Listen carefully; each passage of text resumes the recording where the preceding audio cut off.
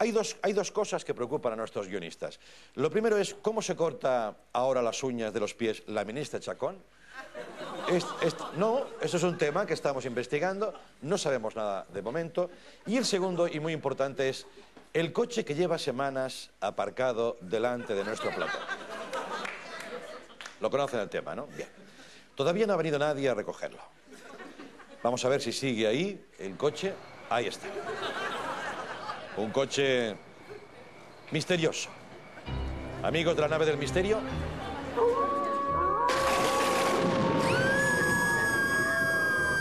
A ver, a compañeros, ah, pa- bueno, es misterioso, pero no os paséis, ¿vale? O sea, bien, gracias. Hace unos días apareció en las vetustas calles que rodean nuestro plató un misterioso vehículo que parecía transportado de otro tiempo. Estas fueron las primeras imágenes. Inquietante, ¿eh? Ponlo otra vez, que, que da como... Míralo. Esto es lo que recogió nuestra cámara de seguridad. Hemos recogido algunos testimonios para indagar en la historia, de momento oculta, de este coche. Gente que dice que a lo mejor un amigo suyo vio algo. Pues se ve que el dueño entró ahí en la UTV y ya no salió más. Eh, Dicen que se escuchan voces de apague el motor, encienda las luces. Yo es que soy del 36, he venido aquí por el tema del documental de la Sexta, este de la República o no sé qué. Por cierto, ¿esto cuándo lo echan? Yo el otro día vi salir de dentro una chica muy rara. Para mí que era o, o la mujer de la curva o, o Trele Pávez. Debía ser Trele Pávez porque no tenía muchas curvas. El coche sigue ahí. Anoche, el refinado y glamuroso Luis Aragonés asistió al programa Tengo una pregunta para usted. Hasta ayer mm, yo no sabía por qué le llamaban el sabio de Hortaleza. Vean el resumen que hemos hecho con lo más interesante que dijo. Se nos ha ido la mano. Quiero ya hacer una aclaración. ¿Qué tal? Al loro. O sea, ¿qué tal? Y, y, y punto. Al loro. eh, eh, ¿Qué tal? Pues bueno, pues bien. Y punto. Y sin embargo, y sin embargo, ¿qué tal? Joder, yo no sé si me estoy enterando. ¿eh? Y punto. Muy bien, muy bien. Ja, ja, y tal. Noticia tonta del día. Hola, venga. La noticia tonta del día. Hay que arreglar esta cámara, ¿eh? Oye, investigadores de la Universidad de Florida han descubierto que los neandertales podían hablar. Poco tarde, pero bueno, ahí, estamos, ¿eh? Hasta ahora solo sabías que podían presidir un país, pero no, no, pueden, podían hablar. Podían hablar, sí. Estoy hablando de Estados Unidos, ¿eh? Bueno, eh, además han conseguido, no, no, de verdad, han conseguido reproducir la voz del neandertal. ¿Cómo sería a partir de los restos la voz? Eh, es un documento escalofriante. Voy a cambiar de cámara que se me está quedando el cuello mal, ¿eh, compañero? Vale, gracias. Joder. Vamos a escuchar la letra E, que es la única que han conseguido reproducir. Se han herniado, ¿eh? Los científicos. Brr, vaya currazo, se han metido. Tres años con esto. ¿Qué tenemos, chicos? La letra E. Bueno, pues es esa, este es el sonido que dicen que emitía el neandertal.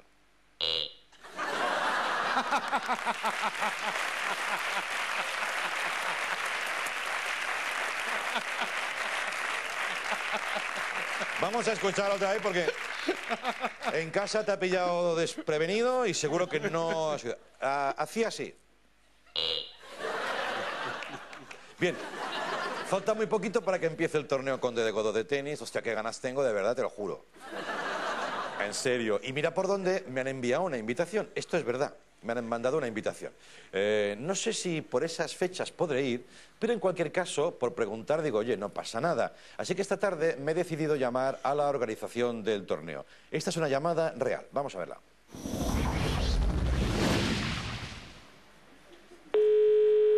Equipo singular, buena tarde. Hola, buenas, buenas noches, buenas tardes. Buenas tardes. Mire, le llamaba porque he recibido la invitación del eh, torneo trofe- Trofeo Conde de Godó. Sí, Sí, era para, para saber a, a qué hora son los partidos, si tengo que ir comido o no. vale, a ver, un segundo que le paso con mi compañera Ariane, que es quien lo lleva. Muchas gracias. Hasta ahora.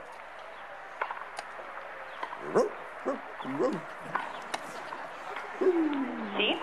Hola, buenas, buenas tardes. Hola, buenas tardes. Mire, es que he recibido una invitación para el trofeo Conde de Godó Sí. y era para saber el horario de los partidos, si tengo que ir comido o no. Bueno, estoy, pendiente que me pasen eh, los horarios, porque todavía no los tenemos. Ya. ¿Qué- qué- me, ¿Me dice el nombre? Sí, sí. Bueno, eh, eh, quería preguntarle, ¿sabe qué indumentaria tengo que llevar? ¿Cómo que indumentaria? Sí, si llevo calzado deportivo o la organización ya me, va- me dará la ropa. Pues la invitación es para jugar, ¿no? No, no, no, para, para, ver los partidos. ¿Usted llama por el tema de Rolex? Sí, sí, sí, he recibido una carta de roles. Digo, igual es que se han enterado que juego a tenis y quieren que juegue también el torneo. No, nosotros hemos invitado a, a clientes de, de la joyería. Ah, ah, clientes, vale, vale, vale, vale, vale. Porque yo, yo, juego- yo tengo un nivel bastante bueno, no, no sirve, ¿no? ¿Quién es, quién es usted? Yo- bueno, un, un aficionado.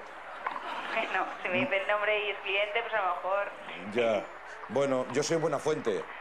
Hola, ¿Qué tal? muy bien. Bueno, ya te has relajado un poco, ¿no? Pues sí. Ya. Es que he recibido esto, digo, igual puedo, puedo jugar. ¿Tú sabes si hay algún torneo paralelo para, el- para los famosos? No, me parece que no. Ah, vale. Bueno, pues así, así no podré ir, porque no. Ya, estoy, trabajo. Bueno, pero, pero bueno, tenemos toda, toda la semana, a lo mejor un huequito. Es que tra- trabajo, incluso los huecos también los trabajo. Muchas gracias, ¿eh? Gracias, Chao, adiós, adiós. Ellos se lo pierden.